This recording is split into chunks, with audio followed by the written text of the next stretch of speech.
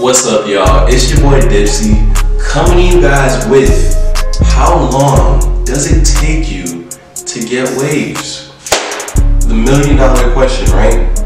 Let's get into it. Now, first thing is, guys, you want to make sure that you are brushing as much as possible. The main thing that's going to determine how fast they come in is how much you brush. If you pick up your brush minutes in the morning and five minutes at night and don't wear a do-rag and just fucking wake up the next day wondering where your waves at, you are in the wrong the wrong hairstyle, my friend, because it takes a lot. I would suggest minimum 30 minutes a day.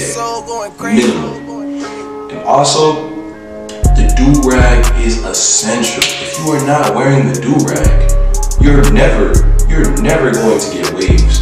You, it's, you can get waves. Don't get me wrong, a wave is really just a lay down curl. So I'm not saying you can't get some waves on your head. I'm saying lay down, organized waves. Hell no. Absolutely not. You have to save your progress with the do-rag. Now for me personally, how long did it take me? Just for me to get some ripples on my head, I would honestly say it took me about two and a half weeks. And um, for me to just get like a, a complete 360 pattern, sheesh, that probably took me like, I want to say like four to five months to get the complete pattern. And this is this is with hella forks too. It's just a 360 pattern, but I had hella forks. Now for me to straight start to straighten out my forks and I'm kind of getting towards that elite where I'm at now.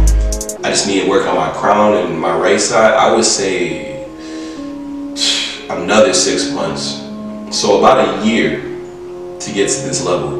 Now, if you have a looser curl pattern, you're going to be able to progress a lot faster because your hair is easier to move. But you're still gonna have to put the work in.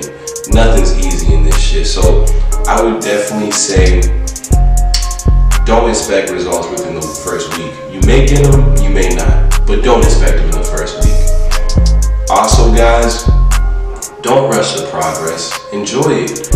Who cares if you're not elite yet? You should enjoy every time you get another wave, every time you break a fork. You should enjoy that. I don't see why there's such a rush. We're all gonna get there, guys. Just stay consistent and trust the process. That's all you gotta do. It's your boy Dipsey. I'm gonna catch y'all later, man. Any comments, anything, any other questions, make sure y'all either comment below or you can shoot me a DM. My Instagram is in uh, my channel bio. I'm gonna catch y'all later. Peace out, man.